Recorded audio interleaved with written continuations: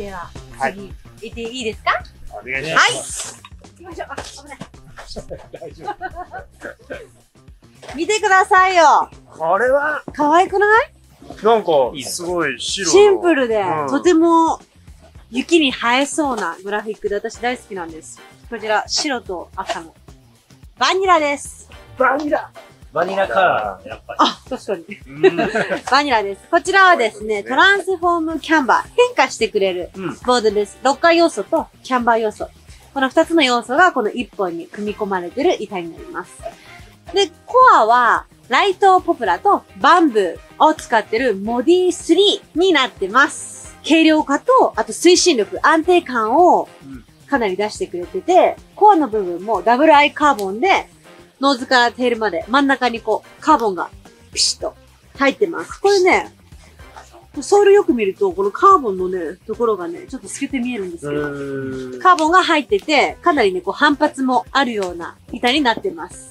トランスフォームキャンバーは本当にもう万能の板で、ディストーションのうん妹分です。カービングからパーク、ジブ、パウダーまで、本当にトランスフォーム変化して、その時の状況によって合わせて楽しませてくれる板になってます。AT とかね、ガチガチのカービングもできるんだけど、カービングしながらも、ここのね、先っちょのこのフラットの部分が、いい具合に反応してくれて、しつこすぎないカービングができます。うんぐーっとカービングしながらも、次、あ、あそこで違うトリックしようかな、と思った時に、すぐにね、こう、板をね、こうずらして、このフラットの部分が作用して、板もいい具合にずらしやすいし、またそのずらしやすい分、また次のターンに入りやすい。これなんかトランスフォームキャンバーは、なんかすごいやっぱ、いいよね。いい。メンズもずっとさ、みんなさ、ディストーションいいわって言うけど、ね。そのみんなメンズが言ってるいいわが、レディースはバニラになってます。この板は、はい。あの、力まなくてうん、滑んなくていい。確かに。